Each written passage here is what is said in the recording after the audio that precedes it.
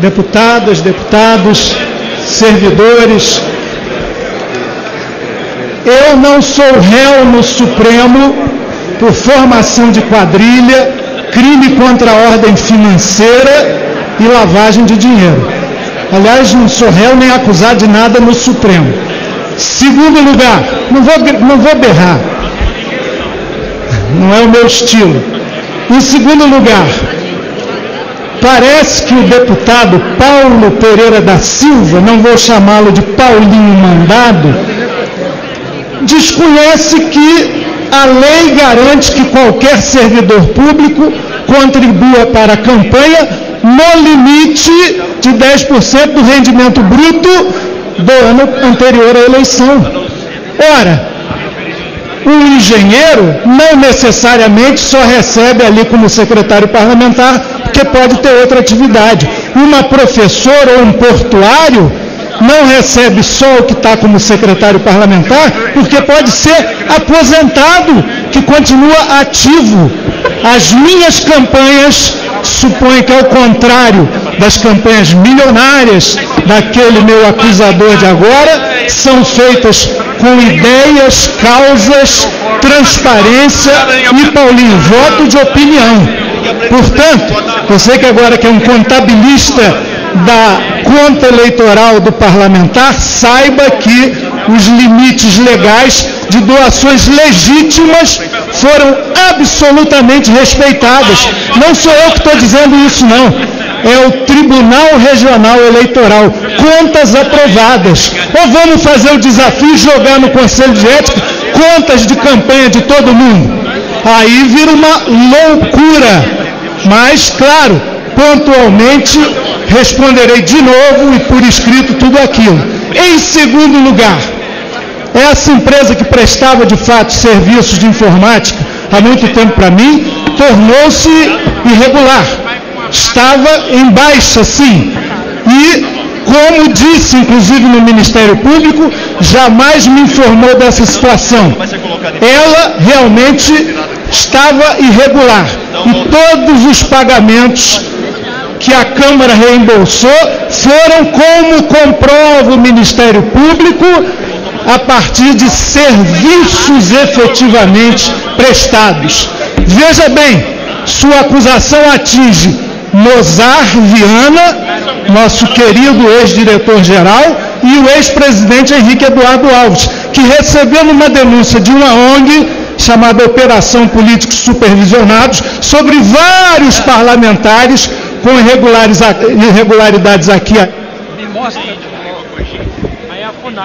Encaminhou para o Ministério Público e para o Tribunal de Contas. O Tribunal de Contas, em junho de 2014, fez um aviso à casa, à direção da casa, sobre essas supostas irregularidades e o que, que a mesa diretora fez? Liminarmente, arquivou a solicitação do TCU eu tenho lá o documento do doutor Mozart orientando o presidente Henrique Eduardo Alves. Como eu recebi uma notificação do arquivamento, eu quis correr atrás, porque não sou dono da ética, não, até porque não tenho pretensões patrimonialistas e de ser dono de algo que devia ser comum a todos nós. E muito menos disse, isso é uma calúnia da sua parte, que todo mundo aqui é ladrão. Isso é uma vergonha fazer essa afirmação. Quem convive comigo nas comissões, no cotidiano da casa, há três mandatos, sabe que eu não tenho essa visão. Agora, a ética pública é muito importante, sim. Líder sindical devia se orgulhar de ter contribuição da sua peãozada, até de servidores do sindicato que você controla, e não do patronato. Mas isso é uma questão política, é uma questão ideológica. Cada um escolhe seus aliados. Se Vossa Excelência faz uma campanha de mais de 2 milhões de reais, é uma escolha também. A minha foi uma das cinco menos dispendiosas entre os 46 é, eleitos do Rio de Janeiro e com contribuição exclusivamente de pessoa física e dentro da legalidade. Essa segunda questão, que Vossa Excelência aponta, foi resolvida pelo Ministério Público, que aliás jamais me chamou até para explicar. E sabe por que, que o Ministério Público transformou um procedimento preliminar em inquérito civil, não é criminal? Como de alguns no Supremo, como de alguns aí no Conselho de Ética.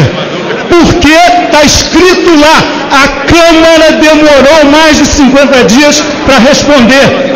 E mandou os documentos que entendeu que devia mandar. E com isso, o Ministério Público, a Procuradora Minella, está à disposição de todos os colegas, disseram textualmente, está comprovada a boa-fé do deputado, está comprovada a efetiva prestação dos serviços e a despeito disso, como eu disse quando fiz a carta de ressarcimento ao então procurador, ao então diretor-geral Sérgio Contreira, para evitar exploração torpe de baixo nível político, como a que Vossa Excelência faz, aliás, parece ser tradição na sua resistência de vida pública. Eu faço um ressarcimento. Está lá no Ministério Público. Não houve um deputado. Um centavo de dano ao horário. E o ressarcimento. Suponho que outros colegas na mesma peça tenham procedido de maneira similar, similar como aliás o deputado Marcos Feliciano fez, pelo que soube agora. Portanto, olha, pode representar, inclusive descumprir a palavra tinha dado a mim, eu ainda acredito na palavra das pessoas, sempre o procurei quando necessário e conversamos olho no olho. Qualquer procedimento não sou eu que quero, são colegas de partido, mas o que eu viesse fazer, eu falo com o senhor, com você. Fez nada, é uma peça de vingança, é uma peça de um Paulinho mandado a serviço de outros interesses que um dia vão se elucidar. No mais, é resposta, no mais, é o diálogo e é o embate político. Eu faço um desafio. Tenho minhas falhas, tenho os meus defeitos, mas em matéria de transparência e Deputado, já prorroguei cinco vezes. Podemos fazer um bom embate aí. Não tenho pretensão de vitória, mas superar Vossa Excelência não vai me superar do ponto de vista da dignidade da vida pública.